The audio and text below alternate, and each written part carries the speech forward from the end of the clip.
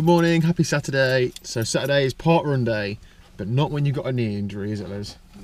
Saturday is then sausage dog walking day. so, um, But it's raining. but it's raining. And Rosie doesn't like the rain. She's got a little coat on.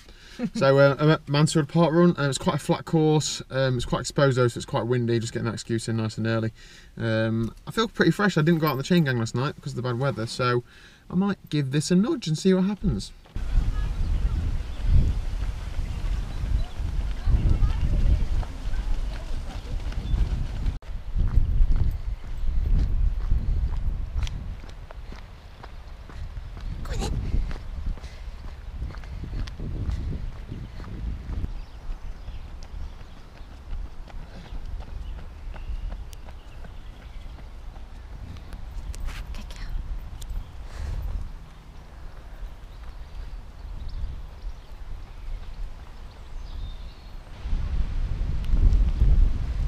Woohoo! Number one.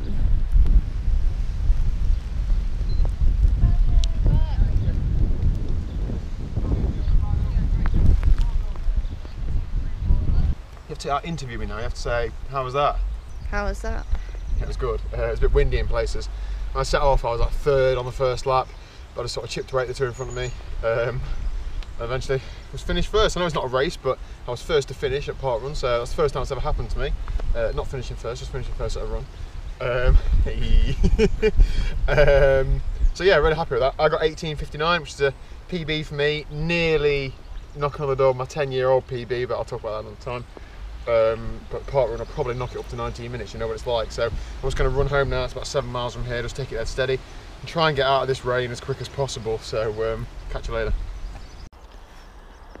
Good evening. It's now Wednesday evening. Um, so I didn't get a vlog up last weekend. But I've got some footage to show you shortly from the weekend. So like, try and think where we were left off.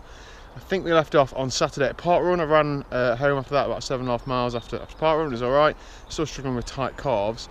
Uh, and then Sunday we did, uh, and I say we, me and the South Northampton Cycling Club, so about there's about 25 of us out, did a sportive. Now it's not a race, it's a sportive, but we pretty much bloody raced it. So I'm going to drop some footage in now. Thanks to Dean Eason for, uh, for the footage. I didn't put a GoPro on my bike, so hopefully you'll be able to see uh, me in pain and just hear my voice over the top. So it was 100 miles the sportive. Um, it wasn't too hilly, but it was well, it's five and a half thousand feet of climbing, so there's a fair few lumps in it. It wasn't a particularly fast route. There's lots of single lane, lots of tight turns, all that sort of thing. But um, we sort of let all the masses go, left, let them about 10 or 15 minutes head start, and then cracked on. Uh, reason being, although it's not a race, there was a prize for the um, 10 fastest from from a club uh, would win some sort of prize. So we had that in mind. Um, so we let them all go, and then we cracked on. There's about 15 of us at the beginning. It was hard. It was really bloody hard. Um, so.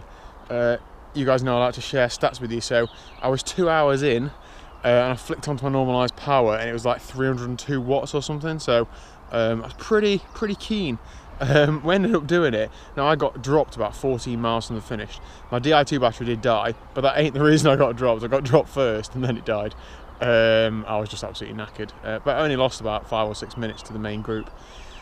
Uh, and we did it in four hours, had it four hours 43, I think, or something like that. I averaged 21.3 miles an hour over 100 miles. It was ridiculous on a road bike, just a box section wheels on. But um, as you can see, we had all sorts of weather, uh, all sorts of terrain, gravel, wind, rain.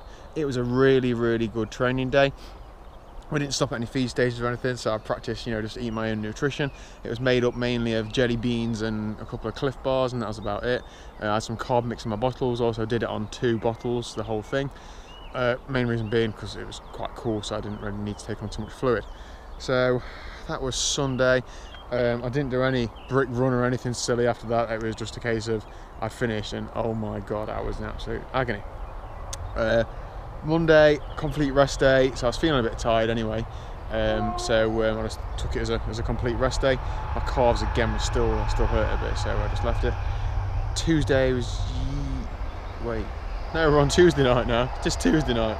Um, I ran at lunchtime today. I did five, well, five miles. My calves are okay. They're a bit tight towards the end, but um, whatever. Just gonna see how it goes, I think. And then tonight I've been out on. This brings me to why I'm actually here, looking like a dick with an aero helmet on and stuff. I'm on a TT bike. So this should have happened months ago. My bike's been at a, a shop for the last couple of weeks. It's not their fault at all. I only took them a couple of weeks ago. Uh, just have the gears index and stuff because I was faffing around with it. Couldn't quite get it exactly right, and I thought I rely on this a lot. I'm just going to take it to a shop. Uh, so it's Newark, Newark Cycles in Newark. If anybody passes by, uh, you know, great guys.